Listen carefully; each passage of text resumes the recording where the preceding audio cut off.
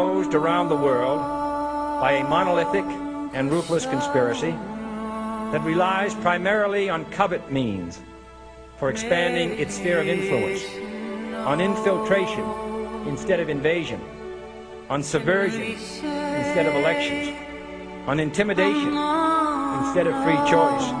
It is a system which has conscripted vast human and material resources into the building of a tightly knit highly efficient machine that combines military, diplomatic, intelligence, economic, scientific, and political operations. Its preparations are concealed, not published. Its mistakes are buried, not headlined.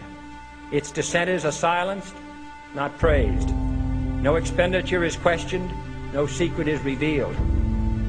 That is why the Athenian lawmaker Solon decreed it a crime for any citizen to shrink from controversy. I am asking your help in the tremendous task of informing and alerting the American people, confident that with your help, man will be what he was born to be, free and independent.